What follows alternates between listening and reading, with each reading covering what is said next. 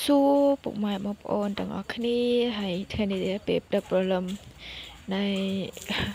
ស្រែកដំណាំគឺបងខ្ញុំក៏ចូលមកជួយស្រែកពុកម៉ែបងប្អូនថាអញ្ចឹងទៅខ្ញុំក៏ឆ្លៀតពេលមកថតវីដេអូឲ្យពុកម៉ែបងប្អូនបានទស្សនា នៅក្នុងហោស៊ឺដែលយើងដាំដំណាំនៅនារដូវខែធ្លាក់រងាគឺ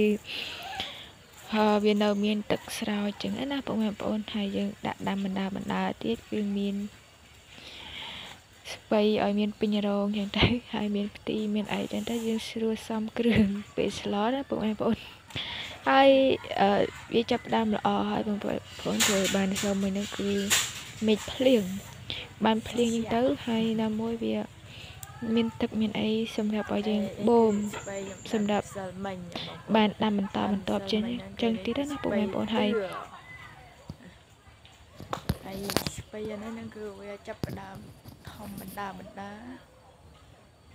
ហើយនៅក្រៅខ្នងខ្ញុំនេះគឺមានស្ពៃកញ្ញាញ់ហើយស្ពៃជើងទា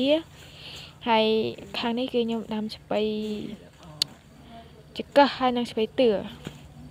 ទើបតែដាំហើយសល់មិញហើយនេះស្ពៃកញ្ញាញ់ដែលរកដែលខ្ញុំដាំហ្នឹងបងប្អូនលើធំធំលឿនមែនតើ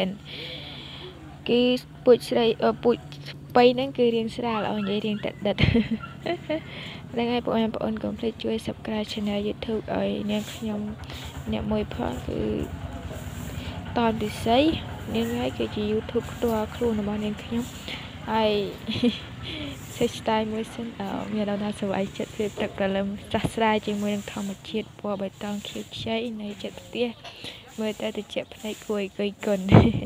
បើសិនជាពុកបងប្អូនចង់មកអីអាចមកបានព្រោះអីតើតិចទៀតស្បៃហ្នឹងគឺអស់ហើយហើយហោស៊ឺនេះរៀងវែងដែរបងប្អូនហើយស្បៃខ្ញុំនេះគេដាំបានរយៈពេលអឺមួយខែជាងហ្នឹងបងប្អូនព្រោះខ្ញុំអត់ដឹងណាហើយនៅបងប្រុសខ្ញុំគាត់ចូលមកស្រែកដំណាំគាត់ចូលមកជួយស្រែកហើយនេះអឺ គេហៅស្អីទេបងប្អូនភ្លេចដែរហើយអានេះគឺឆ្បៃកញ្ញាញ់កញ្ញាញ់វាចាប់ដើមលាតធំធំហើយហើយគឺយើងត្រូវការស្រោចទឹកឲ្យវាជោគជាំទៅវាមានការអឺឲ្យដំណាំយើងមានការស្រូបយកធម្មពលទឹកហ្នឹងដើម្បីវា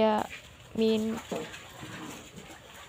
ការលូតលាស់លឿនអញ្ចឹងណាបងប្អូនហើយ